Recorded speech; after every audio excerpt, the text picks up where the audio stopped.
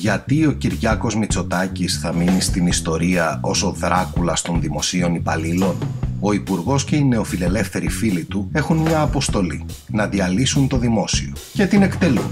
Το δημόσιο μετατρέπεται σε έναν μεγάλο αδελφό, όπου κάθε χρόνο το 15% των υπαλλήλων θα είναι υποψήφιο προς αποχώρηση. Οι φωστήρες του Υπουργείου αντιγράφουν τη μοναδική ίσως αποτυχημένη απόφαση του Bill Gates. Το σύστημα αξιολόγησης που κατήργησε η Microsoft ως αποτυχημένο εισάγεται σήμερα στο ελληνικό δημόσιο. Πώς θα γίνεται η αξιολόγηση; Με προαποφασισμένη ποσόστοση. 25% άριστη, 60% μέτρη, 15% άχρηστη. Ποιος θα αξιολογεί; Οι κομματικά επιλεγμένοι προϊστάμενοι. Με ποια κριτήρια; Τη συμμόρφωση με τις κυβερνητικές υποδείξεις. Με ποιον στόχο; Τη διάλυση του δημοσίου. Ο Κυριάκος Μητσοτάκης έχει μια αποστολή.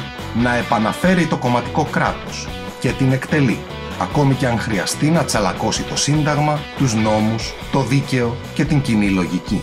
Ακόμη και η Επιστημονική Επιτροπή του Κοινοβουλίου έχει ενστάσεις αντισυνταγματικότητας για τις διατάξεις του σχεδίου νόμου του Κυριάκου Μητσοτάκη που ήλθε για ψήφιση στην Ολομέλεια της Βουλής. Αλλά οι συνέτεροι της συγκυβέρνησης επιμένουν στην ψήφισή του.